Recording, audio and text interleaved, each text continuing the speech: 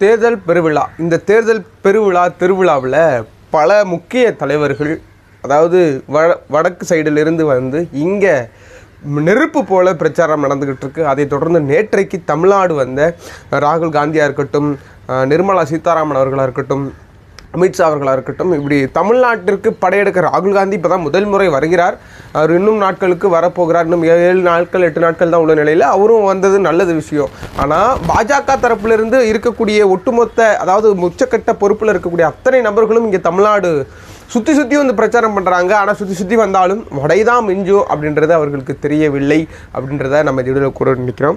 இந்த வீடியோவில் நம்ம என்ன பார்க்கலாம் அப்படின்னு நினச்சோம் அப்படின்னு பார்த்தீங்கன்னா மோடி வந்து யாருக்காக பதவியை அவர் வந்து வகித்த பதவியை யாருக்காக பயன்படுத்தினார்?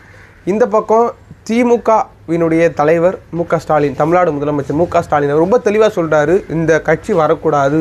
வந்தால் நாட்டினுடைய நிதி நாட்டினுடைய நிதிநிலை இன்னும் மோசமாக போகும் நாட்டினுடைய வறுமை இன்னும் கீழே போகும் நாட்டே அழித்து அவர்களுடைய இதுக்காக உருவாக்கி கொள்வார்கள்ன்ற ரொம்ப தெளிவாக பேசுகிறார் ஸ்டாலின் அவர்கள். மறுபக்கம் பார்த்தீங்க அப்படின்னா நம்ம தமிழ்நாட்டினுடைய எதிர்க்கட்சி தலைவர் எடப்பாடி பழனிசாமி அவர்கள் யாரை எதிர்க்கிறாரு யாருக்காக பேசுகிறாரு அப்படி எதுவுமே தெரியல. அவர் இதை வந்து சட்டமன்ற தேர்தல் நினைச்சாரா? இல்லை பாராளுமன்ற தேர்தல் நினைச்சாரான்னு தெரியல. ஆனால் கொடுக்க பேசக்கூடிய வார்த்தைகள் எல்லாமே சட்டமன்றத்துக்கான ஒரு வார்த்தை மாதிரி இருக்குது ஆனால் இது வந்து பாராளுமன்ற தேர்தல். யார் நாட்டை ஆளப் போகிறார்கள் எடப்பாடி பழனிசாமி அவர்கள் தெளிவாக இல்லையோ அப்படின்றத தான் நம்ம இந்த வீடியோவில் பார்க்க போகிறோம் அதுக்கு முன்னாடி நீங்கள் நம்ம சேனலை சப்ஸ்கிரைப் பண்ணல அப்படின்னா மறக்காமல் சப்ஸ்கிரைப் பண்ணுங்கள் ராகுல் காந்தியும் வந்து தமிழ்நாட்டுக்கு வந்து உரையாற்றிருக்கிறார். மிக மிக அருமையான உரை உரையை நீங்கள் பார்க்கல அப்படின்னா போய் பாருங்கள் நானுமே வந்து இப்போ தற்போது தான் பார்த்தேன். பார்த்துட்டு உடனே இதை பற்றி பேசிடணும் அப்படின்னு சொல்லி தான் இந்த ஒரு சின்ன முயற்சி இந்த வீடியோவில் அதுக்கு முன்னாடி நீங்கள் நம்ம சேனலை சப்ஸ்கிரைப் பண்ணலன்னு மறக்காமல் சப்ஸ்கிரைப் பண்ணுங்கள் அப்போ தான் இது போன்ற வீடியோக்களை என்னால் உங்ககிட்ட ஒரு புரிகிற மாதிரி ஒரு சின்ன விஷயமா கொண்டு வந்து சேர்க்க முடியும் அப்படின்னு நம்புகிறேன் வாங்க என்ன நடந்தது? பார்க்கலாம். சில தினங்களுக்கு முன்பு மோடி அவர்கள் தமிழ்நாடு வருகை தந்து வெறுமென காலியான ரோட்டில் கை காட்டிட்டு போன காட்சிகளை நம்மளால் பார்க்க முடிகிறது. அதற்கு பிறகு அமித்ஷாவாவும் அதற்கு பிறகு நிர்மலா சீதாராமன் அவர்களும் இங்கே படையெடுத்து வந்திருக்கிறார்கள். படையெடுத்து வந்ததுக்கு பிறகும் கூட இங்கே தமிழ்நாடு அவர்களுக்கு வந்து ஒரு செவி சாய்த்திருக்குமோ அப்படின்னா இல்லை. ஏன் அப்படி இல்லைன்னு சொல்ல வரேன் அப்படின்னா பாஜக அப்படின்ற ஒரு கட்சி வெறுப்புவாத கட்சி. அரசியலமைப்புக்கு இன்னைக்கு உரிமை கொண்டாடக்கூடிய மோடி அரசியலமைப்பும் ஒரு வந்து கீதை மாதிரி அதுலேயும் ஒரு வந்து இந்துத்துவாவினுடைய கீதையை தான் மன்னிக்கணும். இது முழுக்க முழுக்க மதம் சாயம் பூசப்பட்ட ஒரு அரசியலில் தான் பிரதமர் மோடி கையில் எடுத்திருக்கிறார் பாஜக அரசும் அதை தான் கையில் எடுத்திருக்கிறது இது தெரியுமா? தெரியல அண்ணாமலை அவர்களுக்கு இங்கே தமிழ்நாட்டில் வந்து கூவிக்கிட்டு இருக்காரு. சரி ஓகே. அதாவது நம்மளுடைய கான்ஸ்டிடியூஷனல் இந்த ஒரு அரசியல் அமைப்பு சட்டம் மிக மிக ஆபத்தில் இருக்கிறது அப்படின்னு சொல்லி விடுதலை சிறுத்தைகள் கட்சியினுடைய தலைவர் தொழில் திருமாவளவன் ரொம்ப அழகாக சொல்லிக்கிட்டே இருப்பார். இது மாதிரி ரொம்ப ஆபத்தில் இருக்குது துணை தெரிஞ்சிருவாங்க. ரொம்ப தெளிவாக இருங்க ஆனால் மோடி என்ன நினச்சாருன்னு தெரியல. நேற்றைக்கு ஒரு பதிவு ஒன்று போட்டிருக்கிறாப்புல. அரசியலமைப்பு சட்டம் இது கீதை போன்றது பைபிள் குரானையும் போன்றது. அதாவது இந்த பைபிளும் குரானும் அல்லது இல்லையா அதில் இணைச்சிக்கிறாரு தவிர ஒரு ஃப்ளோவில் அவருக்கு வரவே இல்லை. ஆக இப்போ ஏன் சட்டமன்றத்தில் நாடாளுமன்ற தேர்தலில் இப்படி தேர்தல் வரும்போது மட்டும் ஏன் அரசியலமைப்பு சட்டத்தை தூக்கி பிடிக்கணும்? அம்பேத்கர் எழுதிய அந்த அரசியலமைப்பு சட்டம் இவர்களுக்கு பிற்படுத்தப்பட்டோர் தாழ்த்தப்பட்டோர் வேணாம் அப்படின்னா அந்த சட்டமும் வேணாம். அப்படி தானே அப்படி தான் எடுத்துக்கணும். ஏன்னா எவ்வளோக்கு எவ்வளோ பாடுபட்டு எழுதினவர் யாருன்னா ஒரு தாழ்த்தப்பட்டவர். மன்னிக்கணும் இதை வந்து ஒரு ஒரு வெளிப்படையாக சொல்கிறதுக்கு ஏன்னா பேர்பட்ட ஒரு மனிதருடைய ஒரு மூலையிலிருந்து வந்து எழுதக்கூடிய அத்தனை எழுத்துக்களும் ஒரு எப்படி சொல்கிறது ஒரு ஒரு சட்டத்தை உருவாக்கிய மாமதையை அந்த சட்டத்தை துடை தெரிவதற்கு பிஜேபி அரசு ஆயத்தமாக இருக்கிறது அப்படின்றத நம்ம எல்லாருக்கும் தெரியும். ஆனால் அதை மூடி மறைக்கும் விதமாக மோடி அவர்கள் நேற்றைக்கு உறுதி விட்டுருக்கிறார் சரி அதெல்லாம் இருக்கட்டும். இப்போது ராகுல் காந்தி அவர்கள் தமிழ்நாடு வந்திருக்கிறார். தமிழ்நாட்டு வந்த ராகுல் காந்தி கோவையில் தேர்தல் பரப்புரையை மேற்கொண்டிருக்கிறார். அங்கே யார் நிற்கிறான்னு தெரியுமில எவ்வளோ பெரிய பலம் வாய்ந்த வேட்பாளர் தெரியுமில மிஸ்டர் அண்ணாமலை அவர்கள் தான் பாஜகவிற்கு ராகுல் காந்தி அதுக்கு வரல. சொல்கிறேன் அவரை எதிர்த்து அவருக்காக எதிர்த்து அல்ல அவருடைய அதாவது காங்கிரசினுடைய திமுகவினுடைய வேட்பாளர்களை ஆதரித்து கோவையில் ராகுல் காந்தி அவர்கள் பிரச்சாரத்தில் ஈடுபட்டார். அந்த பிரச்சாரத்தின் போது ரொம்ப அழகாக ரொம்ப தெளிவாக சொல்லி ரொம்ப தெளிவாக சொல்லியிருக்கிறார். என்ன அப்படின்னா அதானி அவர்கள் மோடி அவர்கள் இருவரும் நண்பர்கள். மோடியினுடைய இந்த பிரதம மந்திரி பதவி யாருக்காக பயன்படுகிறது? அவர் சொல்கிறார் இல்லையா மூச்சுக்கு முன்னொரு தடவை ஏழை மக்கள் ஏழை மக்கள் ஏழை மக்கள் ஆனால் ஏழை மக்களுக்கு அது பயன்படவே இல்லை.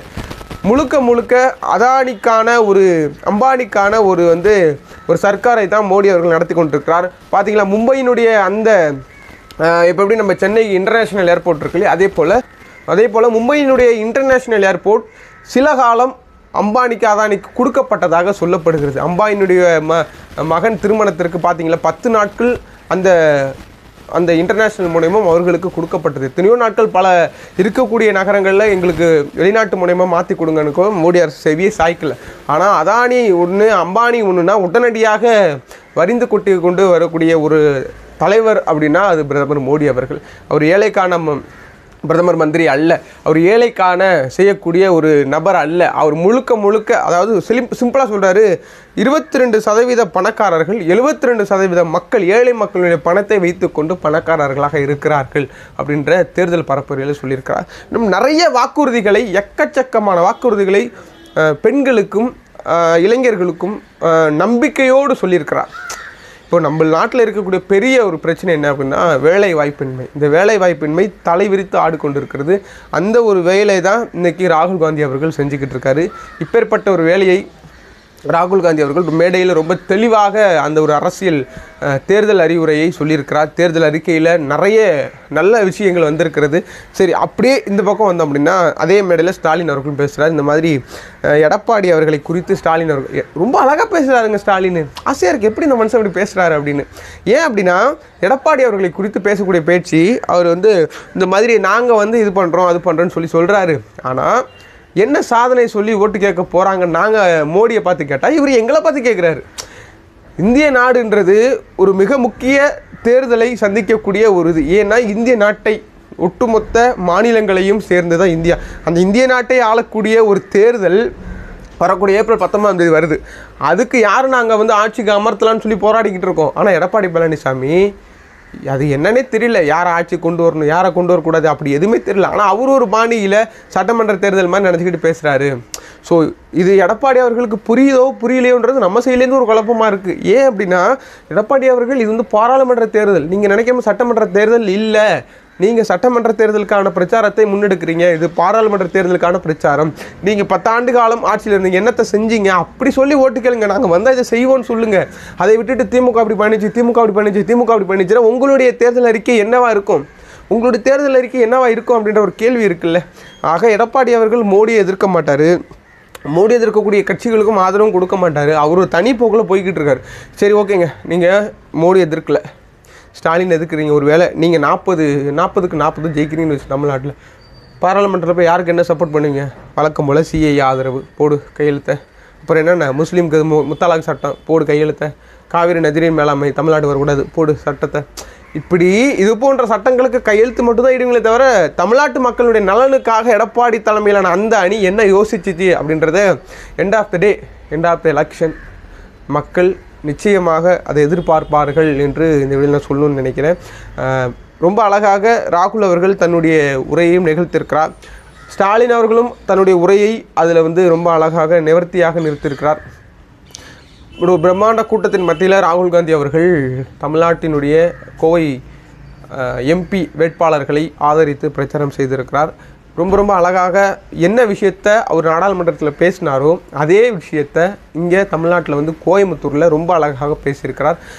நம்ம எல்லாம் வாக்கு போடக்கூடிய நாட்கள் நெருங்கி கொண்டிருக்கிறது. வர வெள்ளிக்கிழமை அந்த வாக்கு செலுத்தக்கூடிய நாட்கள். மிக மிக துல்லியமான முறையில் தெளிவுந்த புத்தியோடு வாக்களியுங்கள். தமிழ்நாடு மக்கள் தயவு செய்து ஓட்டை வீணாக்காமல் ஒருவேளை நாம் வந்து அண்ணாமலைக்கு போட்டுடலாம். ஏன்னா எனக்கு வரக்கூடிய கமெண்ட்லாம் பார்த்தீங்கன்னா அண்ணாமலை மோஸ்ட்லி அண்ணாமலை ஆதரித்து தான் கமெண்ட்டாக வருது. எனக்கு அதெல்லாம் பார்க்கும்போது ரொம்ப வந்து ஒரு மாதிரி பயமாக இருக்குது என்னடா என்ன போன்ற இளைஞர்கள் இவ்வளோ ஒரு இதாக இருக்கிறாங்களே அவர் பின்னாடி போகிறதுக்கு காரணம் என்ன? அவர் எந்த கொள்கையை பின்பற்றுறாருன்றது இவங்க பின்னாடி போகிற இளைஞர்களுக்கு தெரியலேன்ற ஒரு வருத்தம் இருக்குது ஸோ அந்த இளைஞர்கள் தயவு செய்து என்னை திட்ட தப்பு இல்லை. நான் வந்து அண்ணாமலைக்கு எதிராக தான் பேசுவேன் பேசிக்கிட்டு தான் இருப்பேன் அப்படின்றத விட நீங்கள் அண்ணாமலைக்கு ஆதரவாக பேச தப்பு இல்லை. ஆனால் அவர் சார்ந்திருக்கக்கூடிய கொள்கையும் அவர் சார்ந்திருக்கக்கூடிய கட்சியும் தயவு செய்து கொஞ்சம் பின்னோக்கி பாருங்கள் இவர் வெறும் வெறும் அச்சாணி தான். அது செயல் இலக்கல் அப்படின்னு தூக்கி எறிஞ்சிருவாங்க. அவ்வளோதான் அங்கே மத்தியில் என்ன சொல்கிறாங்களோ அதுதான் இங்கே தமிழ்நாட்டில் மிஸ்டர் அண்ணாமலை அவர்கள் இங்கே அவர் வந்து செய்வார். ஸோ எனக்கு கமாண்ட் போடக்கூடிய நண்பர்கள் அத்தனை பேருக்கும் மிக்க மிக்க நன்றி. நல்லா திட்டுறீங்க. திட்டுறது ரொம்ப சந்தோஷம். ஆனால் எதற்காக பேசணும்னு ஒன்று இருக்குல்ல? அண்ணாமலைக்காக பேசுகிறீங்க நான் அண்ணாமலைக்காக பேசலாமா? அப்படின்றத யோசிங்க. நிறைவாக எடப்பாடி அவர்கள் ரொம்ப தெளிந்த புத்தியோடு இந்த பாராளுமன்ற தேர்தல் உரையை நிகழ்த்தணும் அப்படின்னு சொல்லி இந்த வீடியோ நான் கேட்டுக்கிறேன். உங்களுக்கு என்ன தோணுது அப்படின்ற கிழக்கமான சொல்லுங்கள் நிச்சயமாக அடுத்தடுத்து நகர்வுகளை உங்களோட நான் பகிர்ந்துக்கிறேன். அது வரையும் உங்களும் விடைபெறுவது உங்கள் ஜோஷுவா. நன்றி. வணக்கம்.